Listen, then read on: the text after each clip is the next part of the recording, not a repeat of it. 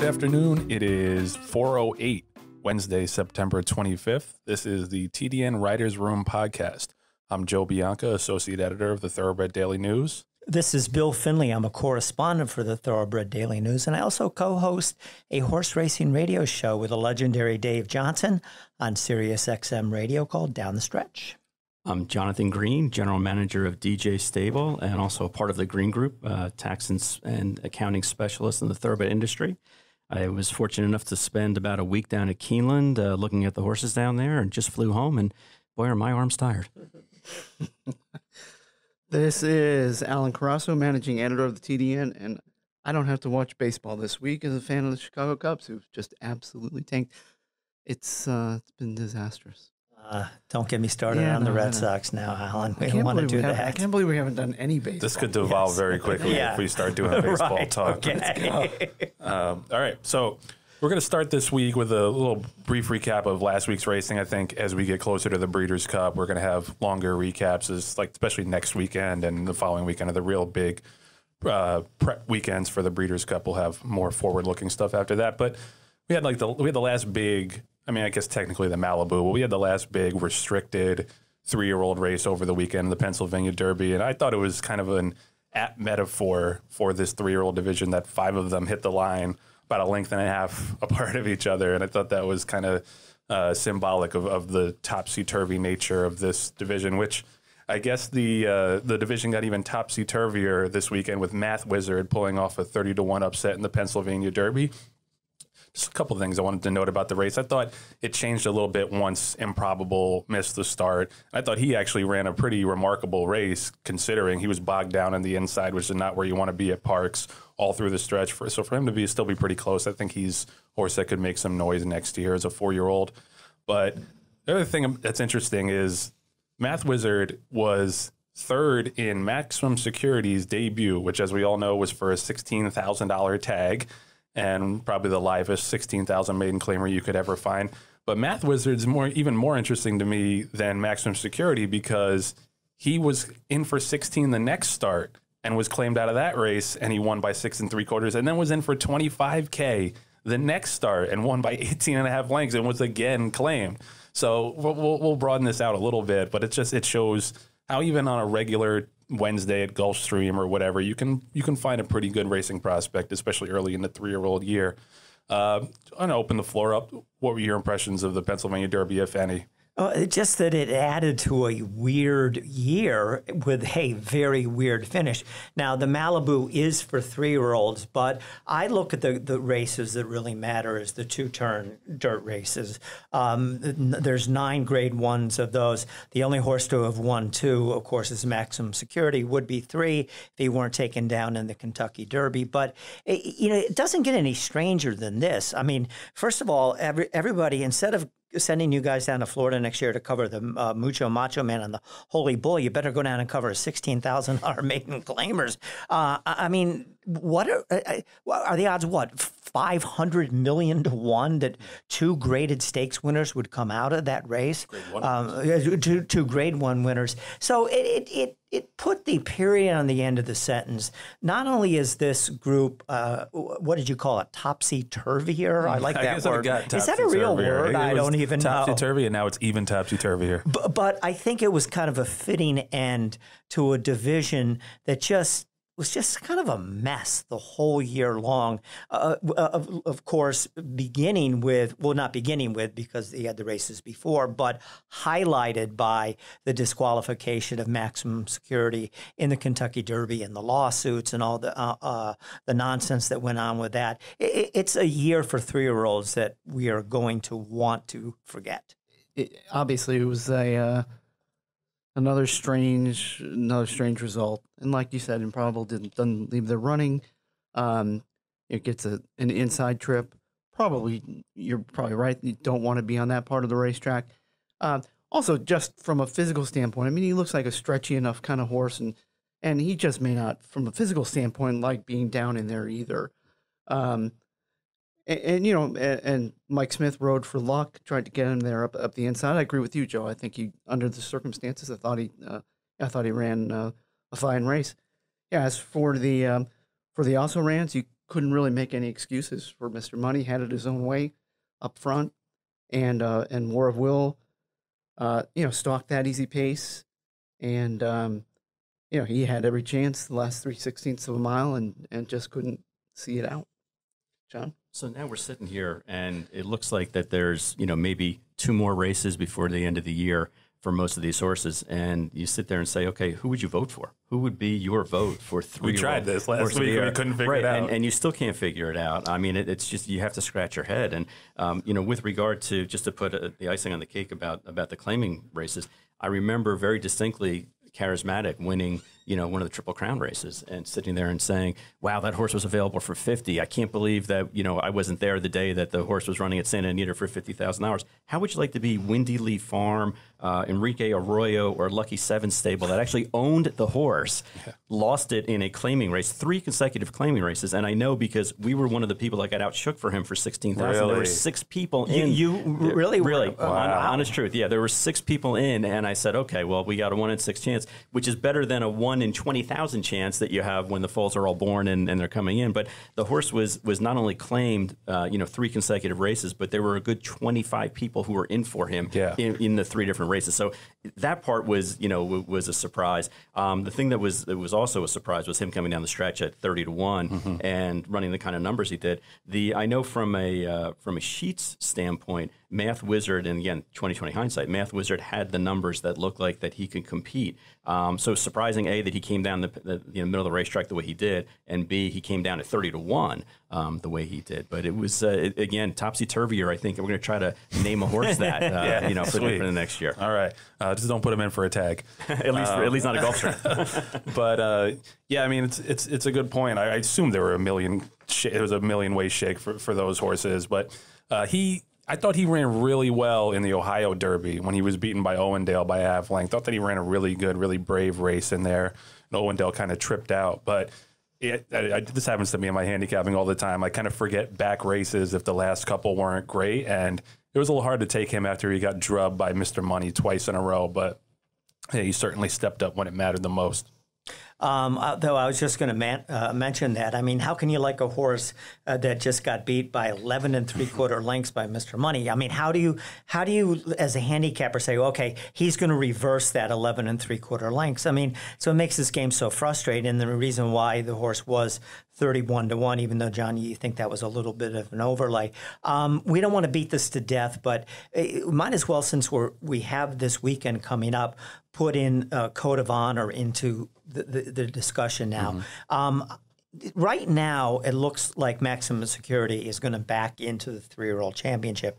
I think there's only one possibility that he doesn't because the Pennsylvania Derby eliminated the chances of, of everybody else in that race unless some kook is going to be- uh, vote for Math Wizard. But if Code of Honor wins the Jockey Club Gold Cup, is he the three year old champion over maximum security? Now, you know, they would both have to officially have two grade one wins, uh, but I, I, think, you know, there's uh, a lot of just sort of negative feeling around maximum mm-hmm. security.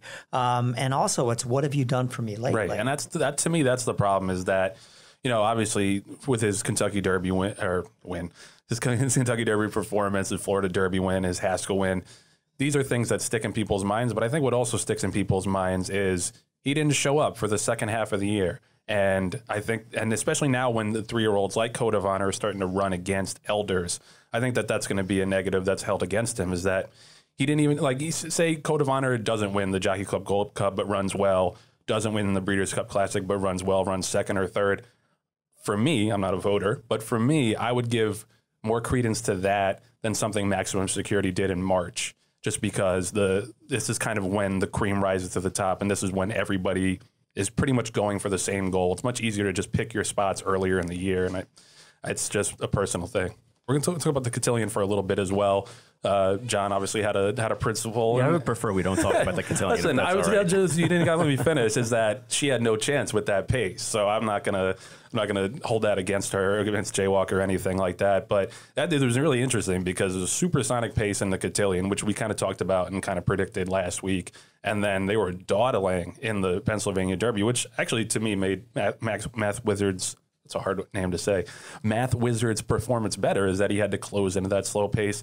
The Cotillion, we had an extended discussion on Guarana last week and her Hall of Fame credentials. Yeah, why according would- to Uh, excuse me, could you please, of the year. Uh, Joe, could you please pass me that roll of paper towel so I can wipe all that egg off of my face? No, again, let me finish. I Um, thought she ran great, honestly, because She didn't win. Yeah, so, yeah, of course. You know, okay. and so uh, plenty of other chances, I, I, the um, this the statue that they were going to erect to her that Yeah. is on hold Right. now. okay? Yeah, they haven't broken ground yet. Yes. But uh, so she took a little stumble out of this out of the gate, and she was the only one near that pace that really stuck around, and she was clear for second. So I think you got to give her a lot of credit for that. And I still believe what I said last week that I think she ultimately is going to be better going a one turn mile or shorter races.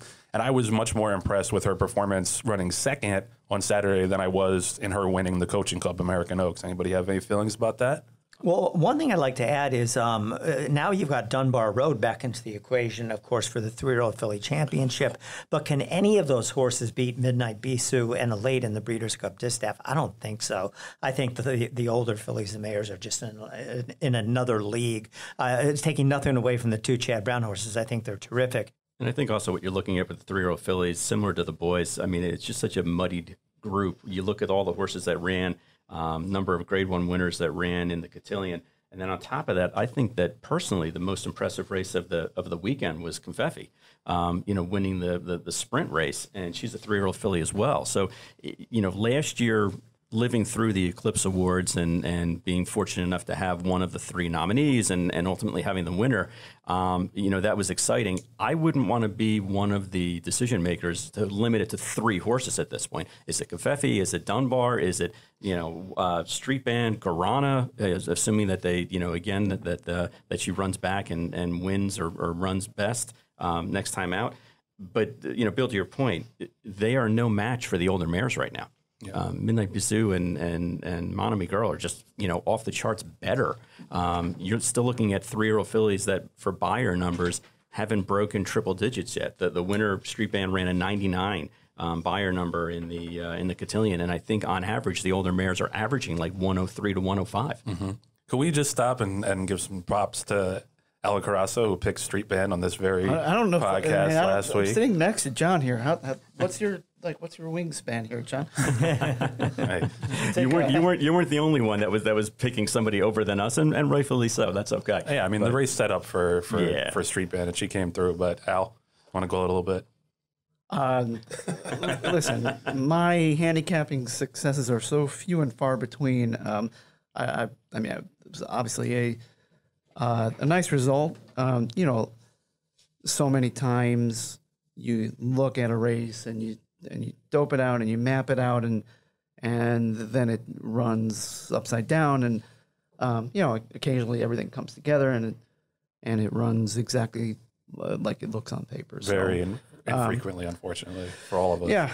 But uh, listen, she got a good ride um, from Sophie Doyle, who um, you know knows her very well.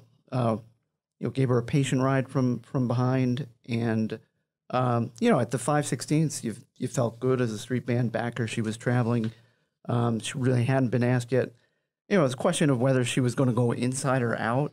I thought there was some chance she'd, she'd go for maybe a three path run, but uh, you know, came wide and and you had the guns to to, to peg back uh, Guarana there in, in the final sixteenth of a mile. So uh, no gloating, but Damn uh, it. All right. Well, pat myself. I gave you I gave you the opportunity at least. Uh, one horse, one of the horses I wanted to mention before we turn the page from last weekend was King Jack, lightly raced horse, TDN Rising Star. Um, was his graded stakes debut, I believe. He ran in the Shared Belief and, and was was second to Improbable before that. Ran a 111 Beyer in the Gallant Bob, which you just don't see really much anymore at all from from from horses, but especially from a three year old sprinter.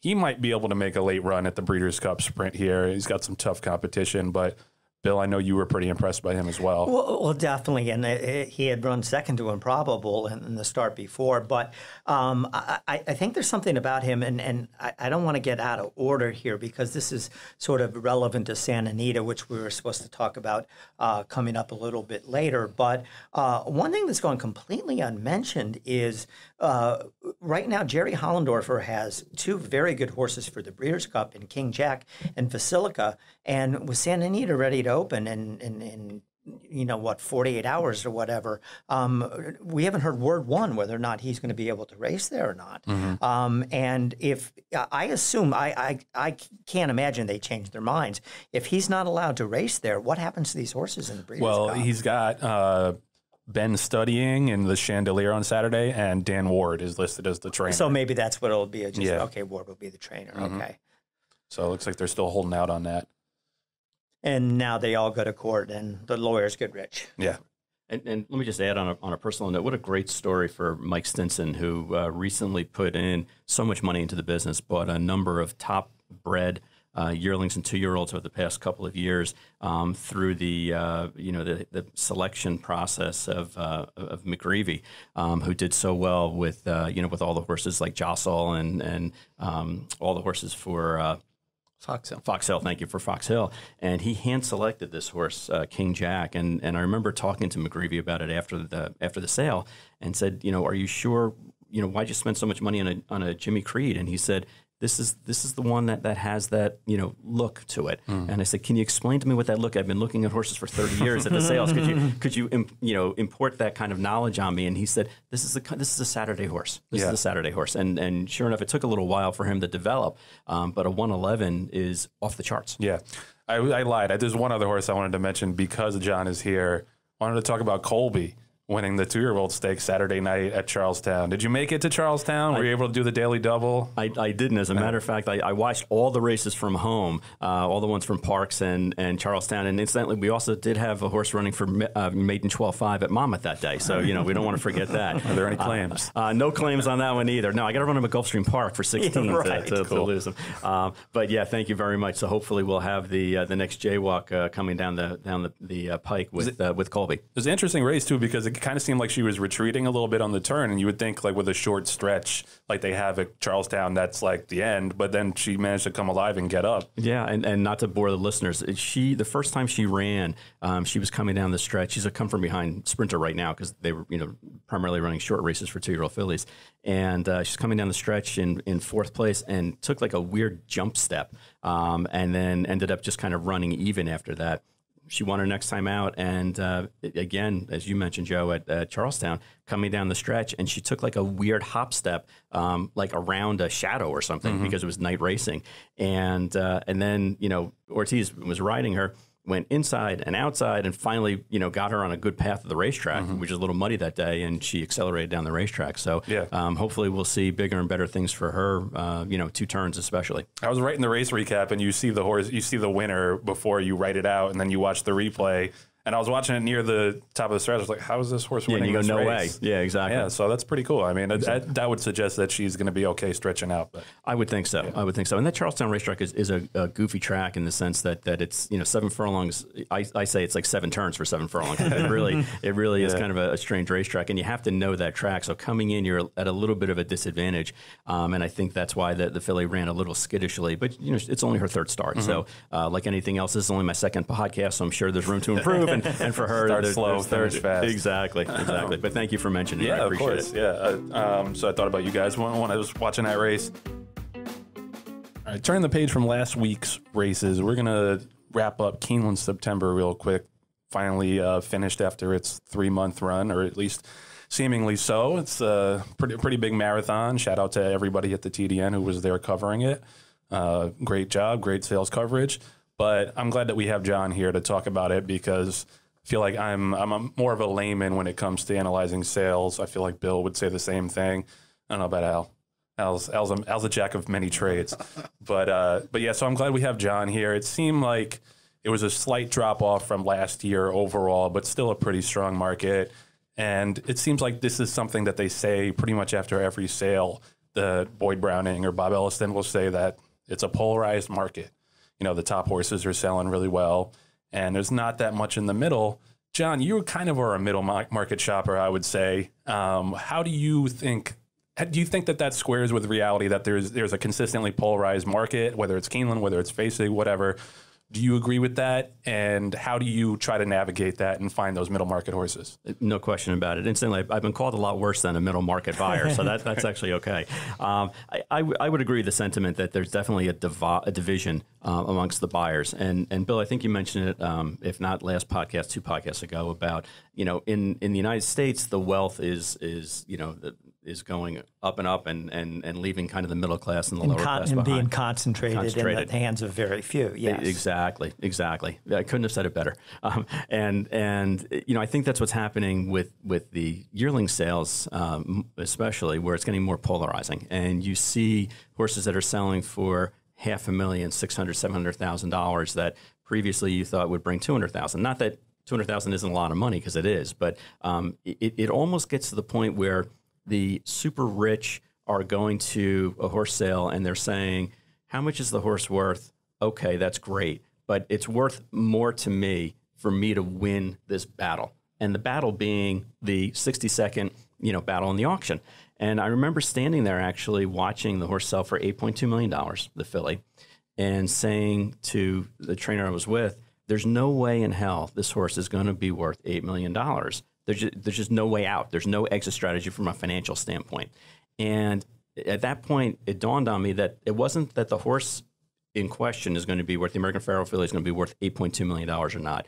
It's were the combatants, the two human people who were bidding on the horse, what was their ego worth to be able to stand there and say, Who was the underbidder, by the way? um, it was Sheikh Mo. Sheik Mo, yeah. Sheikh Okay. Mo. But uh, but needless to say, wh- whether they got on the cover of, of a publication or not, that's really what it came down to. Because unfortunately, or, you know, there's no guarantee the horse is going to win a big enough race to be on the cover. But it damn well will when it leads. You know, the the, the is the top sale horse. Yeah, and the thing I was saying we were talking about this a little bit last week that and Bill was saying that this is the the the price of a dream. Everybody everybody's got the lottery ticket or whatever. They have that dream that not nec- not is not necessarily a, a sound investment, but you have a goal in mind that you're willing to take a chance on, and that's that's the case with these super rich people. And the thing is, like like you say, they get the headlines now. Nobody remembers if these horses don't turn out to be any good. You know, there's no there's no follow up story two years later to say, hey, this horse sold for five million dollars. Why is it such a bad runner? You know, it's kind of it's kind of forgotten over time, and, and they get the they get the press up front and don't really have to deal with the ramifications later. No question about it. And, and the other thing I noticed, just uh, fly on the wall for the book one and book two, um, is just looking at the number of million dollar horses. And I know in 2018 it was 27 or 28 horses, I think that were that were million dollar horses, and there were only 22 this year. Yet the average of the sale went up. Um, so you say, okay, well, why is that? Well, obviously the top end is continuing to drive it, but what you're seeing also is that the number of buyers at that end are partnering up. Um, and and it's almost like you know last call at the bar where you say okay well who can I partner up with tonight you know to to make it home um, and and you look at some of these partnerships and you know China Horse Club has enough money to buy anything they want but then same thing with Magnier and and Pete Brant and Repole, you know, SF, all, all those guys. They have enough money where they could walk into any sale and buy any horse that they wanted to. But strategically, what they're doing now is they're partnering up with their with their combatants and saying, okay, rather than us knock heads and Alan and I bidding on the same horse and, and making the consigner and the owner of the horse more money, let's pool our resources. And as long as we can work together and, and agree on a trainer, we're going to go ahead and buy the horse, and the, and therefore I'm getting rid of other uh, combatants in there. So the horse may still sell for a lot of money, but now it's easier because it's only fifty cent dollars, and they're getting rid of some of their competition. So it's an interesting strategy. Yeah, it's a can't beat them, join them kind of thing. And there's, you know, most of these most of these people want to, unless you're buying a filly, of course. Most people want to be in the starting gate for the Kentucky Derby, and there's only only 20 stalls. So you know, if you, if you're partnering up with a lot of people instead of competing with them directly, you give yourself a better percentage chance. then they should be watching those 16 maiden claimers at Gulfstream. That's Exactly. what they should be doing. But I, you know, I wanted to bring that up also just because of this that we talked about it a little bit last week. But racing is kind of a meritocracy in that way, in that the horse doesn't know how much they cost, and once they get on the racetrack, they can either run or they can't. I think there was no better example of that than Math Wizard and Mas- Maximum Securities ma- maiden claimer, and Math Wizard being available three different times for a claiming tag that makes it fun for everybody. That it's great to get the splashy headlines with the big auction buys, but and it doesn't amount to a hill of beans until they actually step on the track and, and try racing out. And that's that's what keeps everyone coming back at all levels, upper, middle, and the bottom tier. And one more observation just from the Keeneland sale, just to, to bring it up. Um, I went through, I'm a, I'm a numbers guy, so I went through statistics and, and trying to figure out what, you know, if there's any patterns to previous um, um, cycles. And in 2009, the um, R&A percentage at Keeneland was 27%. Okay. Um, this year, for the same period of time, the, the book books three and four. Anyone want to wager a guess as to what the R&A percentage was? Mm, it's got to be lower. 22? 22? 19. 19? 20. 20. Okay. It was 26%. Wow. So it was almost exactly the same. And other years, though, you guys would be right. It was under 20% for the other years. So what do you, what does that mean? Does that, is that really ana- analogous to anything?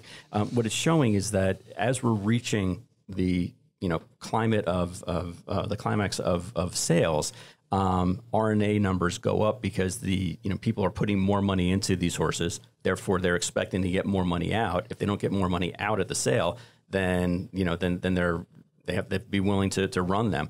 And it's just a cycle that you're seeing now where um, RNA numbers are starting to go up because expectations are so high. And you know, my feeling, just from a financial standpoint, is that things are going to start to curtail. Um, you know, coming into the horse industry. Okay. Any thoughts, Al? No, you know what, uh, John, I, you've got more experience hands on than I do. I, I would say, just as an observer of this for many years, and 26% is not, at the end of the day, is not a horrible buyback rate. And I think the sale ended just right around 24.9 or 25% RNAs on the whole. You know, people are setting their, um, their reserves realistically. Um, and, and, you know, and prize money is good. Um, people are maybe more willing to, uh, you know, to, to buy back a horse and, and, and take it to the track. So, uh, um, you know, it's hard to say. It's al- always an interesting dynamic there. No question about it. And the only other thing that I would add to that, Al, and, and you're exactly right, is that um, you say, okay, well, is there another reason why the RNA numbers are are, are different, um, you know, than, than in previous years? In, in- and I believe actually it was in in in uh, TDN where the withdrawal rate for the sale was actually higher by 5% than it's been in the past couple of years. So again, people are willing to say, I'm going to bring my horse to auction, and if I'm not getting the kind of action that I think I'm going to get, I'm going to scratch rather than RNA. So I think where the RNA numbers might even be artificially higher if you include the uh, you know the number of withdrawals of horses that came onto the sales grounds and didn't actually go to the ring. Oh, I mean, oftentimes I find that the better or more interesting metric is to add the outs and the RNAs and see what that percentage is as a ratio to, to the number of horses cataloged. Um, I didn't look at it th- this time. Well, John's giving me a sheet of paper. You guys actually did it. That's where I got my numbers from. So I have to I think you brought props. So it, it, it's actually it, it increased from 15% to 19% the the amount of withdrawals, and if you add that to the 25% uh, that you're talking about, now it's just to keep the math easy. That that's almost 40, you know, a little more than 40%, 44% to be exact, of horses that were either scratched or uh, or, or, or RNA'd. And so this is from our weekly sales ticker um, from the edition of the 24th. In 2015, the percentage of horses sold as a ratio to the number cataloged was touching 66%. This year, that number was 61.4%. So um, I, I just, I, I've always thought that was an, an interesting way to, to, and, uh, to and kudos to it. you guys for actually putting those numbers together. That was really it, it opened my eyes. We're going to shift gears now and start to look towards this weekend, big weekend of racing, Santa Anita and Belmont. And this is something that honestly could have led the show, but we're Santa Anita opens Friday, and so that they released their veterinary team. They got seven veterinarians doing pretty uh, pretty extensive work in, in green lighting horses to get on the track. Some people might be in favor of that. Some people might think it's a little too cumbersome. Either way, they are they are trying to do a positive PR blitz, I think, ahead of this meet, and, and rightfully so, because I think it was the last night or the night before that Gavin Newsom, the governor of California, had a press conference and was asked about racing and basically said either reform or die. Those were basically his. I give you the exact his- quotes. Okay, there you go. He said, uh, dangerously close to being out of business then he said, I'll tell you, talk about a sport whose time is up unless they reform. I mean, those are very, very strong comments Mm-hmm. um, from someone. I, I, I don't know. Obviously, I don't think the governor can just sign a, a, a some sort of executive order just saying horse racing is out of business. But nonetheless, the last guy in the state you want saying those sort of things is the governor, and uh, it, it is. Um, the, the meet at Santa Anita, you know, we're going to see all these graded stakes races this weekend. We're going to see the Breeders' Cup coming up. This meet, the only thing that matters is safety. That that's it. Um, and you know, there's no reason to believe that we'll have a repeat of what we had in the spring because I think Santa Anita has done everything they po- humanly possible they could do to uh, to make sure that the racing is as safe as possible. But there's also the luck factor involved too. And God forbid if you know the first week of racing, four or five horses break down.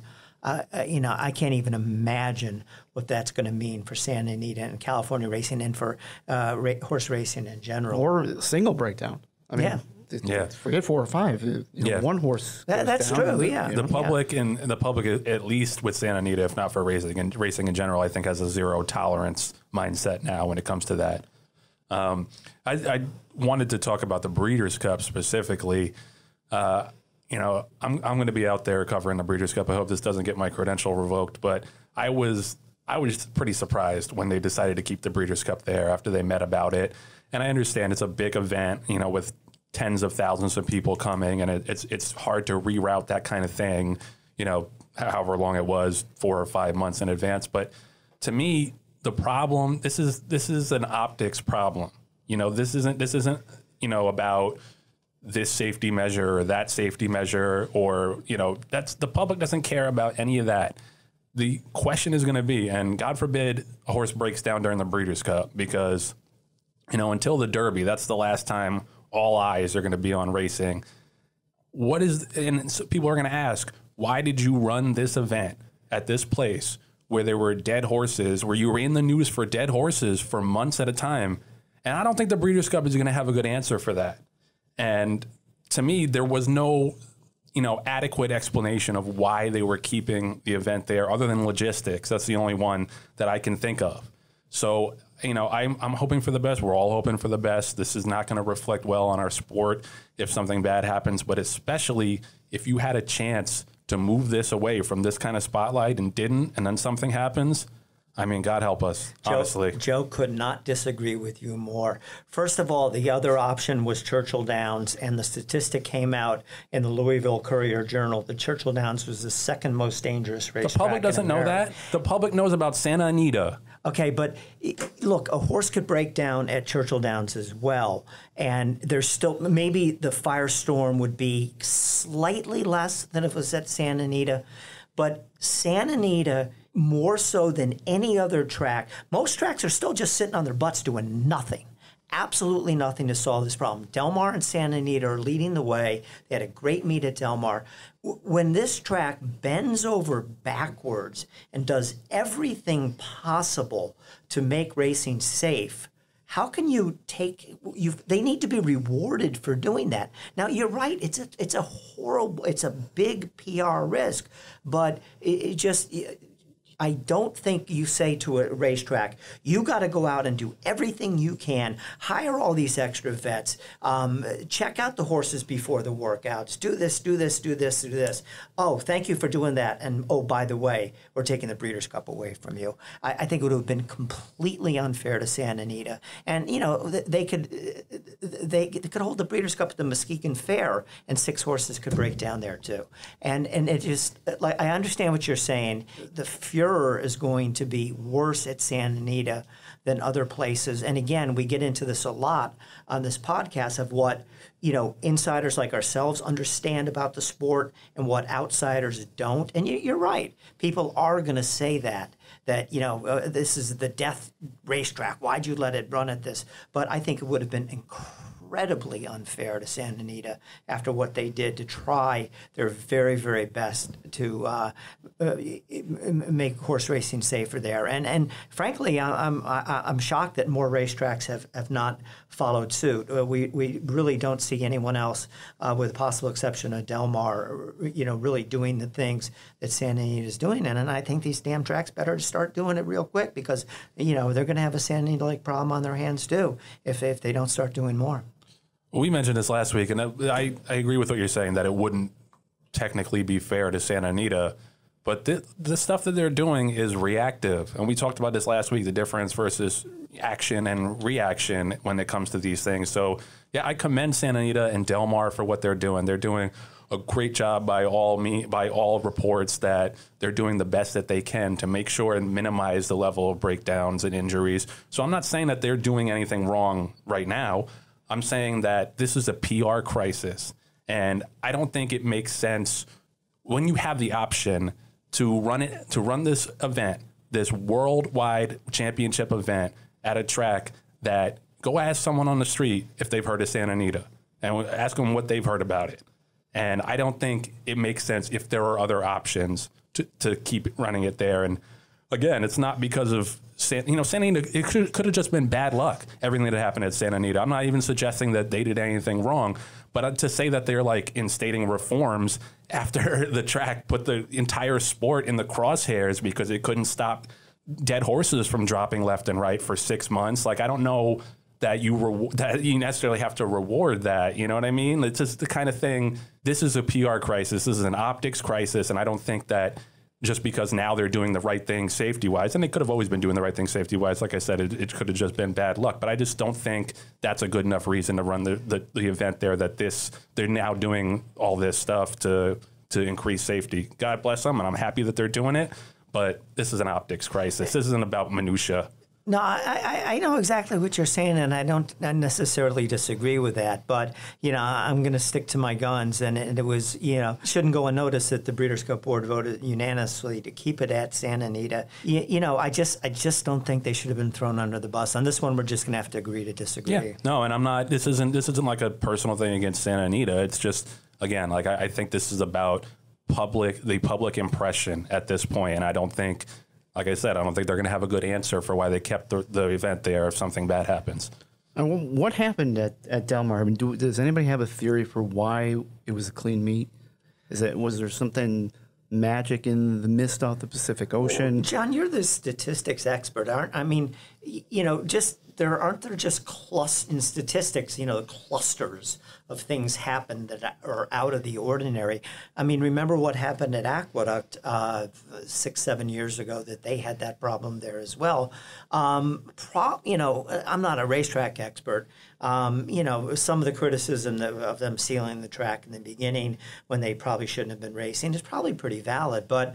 Uh, my guess is the, the, the main contributing factor was bad luck, and the main contributing factor at Del Mar, who has also had meets with, with very high breakdown rates, was good luck. What would a statistical person say about this? No, you're exactly right. I mean, everything's going to fall back to the uh, the back of the baseball card. So if, uh, if, if a hitter is hitting 400 in the beginning of the year, but he's a 200 hitter, then eventually he's going to go 0 for 40, and, and the numbers will, will line up again.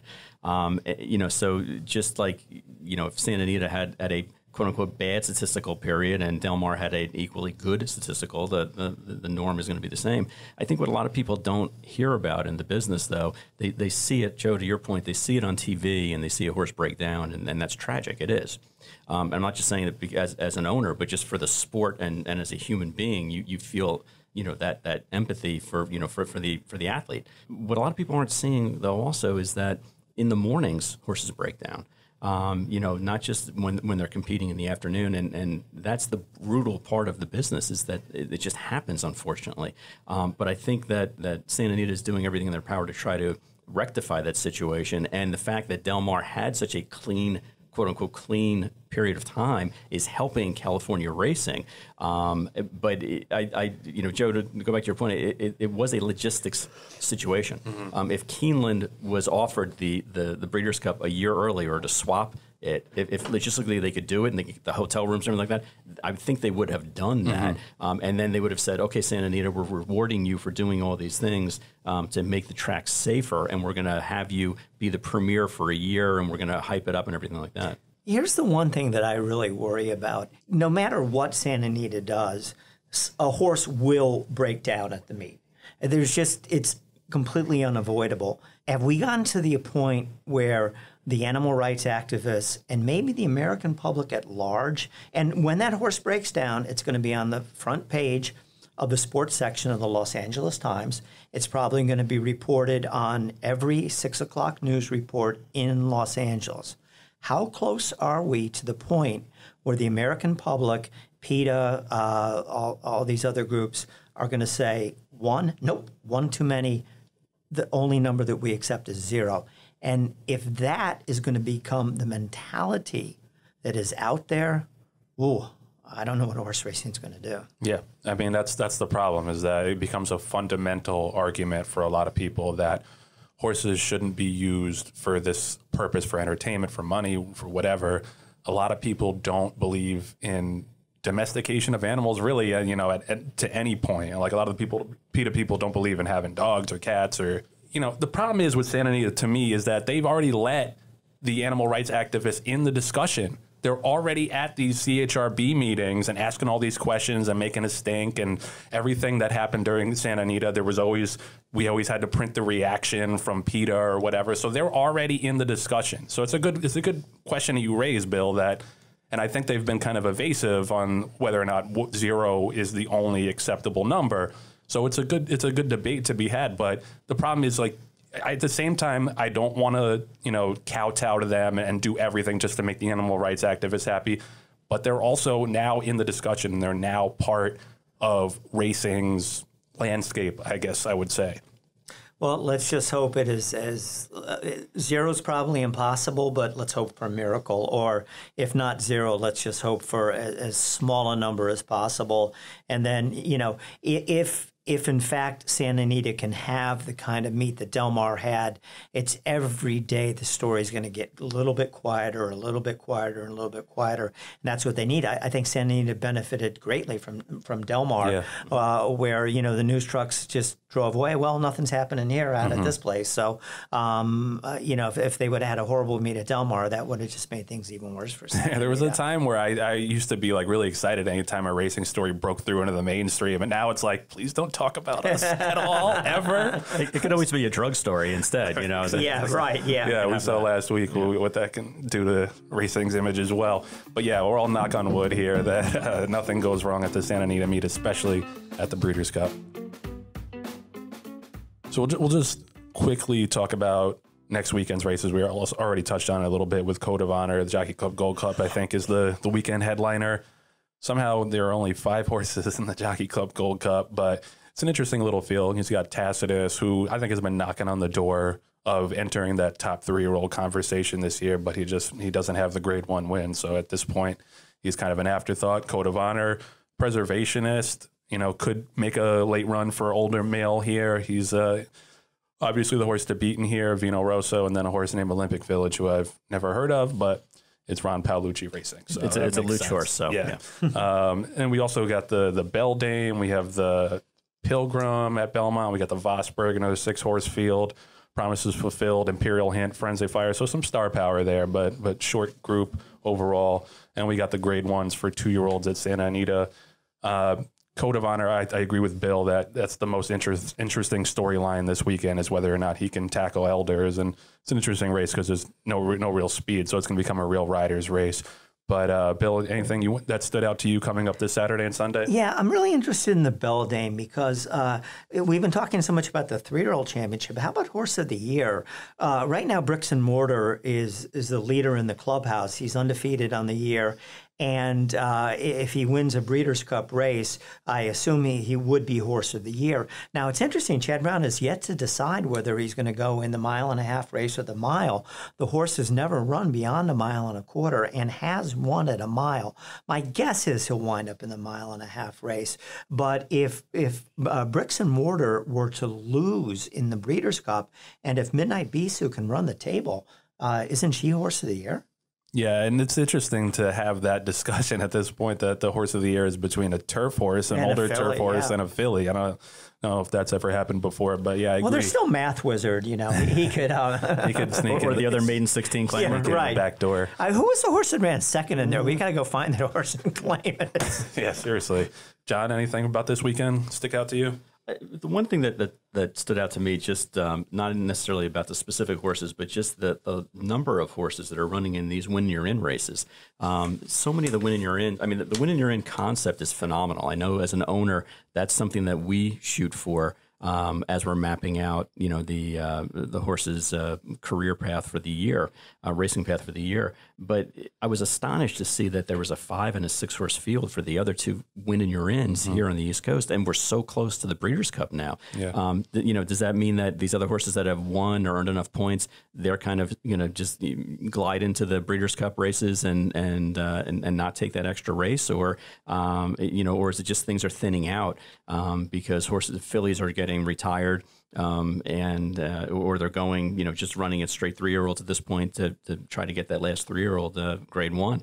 Um, I don't know what the answer is, uh, you know, to, to that, but I'm I'm shocked as as a as a fan of the sport. I always like to see 8, 10, 12 horses in a field and to see a five or six horse. And I know I pick on Luch because, you know, because he's always running a horse in all these big races and usually it's in our way. You know, that horse is usually in our way. Um, but in this case, in this field, I actually, you know, think that it's a good idea to run Yeah. a horse in there as the fifth horse because you never know what's going to happen. I don't think he's going to win, but, you know, you get second or third in a race like that, and that's big dollars. Yeah. Well, I'll open up a whole other can of worms, and I don't want to keep this podcast going for another 45 minutes. But we also have the subject of there's too much racing and not enough horses. As the fall crop goes down, and you know we don't see, uh, you know, I don't want to say the Beldame should go away or the Jockey Club Gold Cup should go away, but there's just way too many of, of these preps. You get the same situation for the Kentucky Derby. There's just too many of these races and not enough good horses to fill them. And uh, you know, uh, and, and you know, and, unless we get that full crop back up to thirty-five thousand, don't see how that's going to happen. Um, uh, I, I, I think you're going to be seeing a lot more of this, John. I think the, the Pennsylvania Derby has cannibalized the Jockey Club Gold Cup in a way since, since it yeah. became a grade one specifically.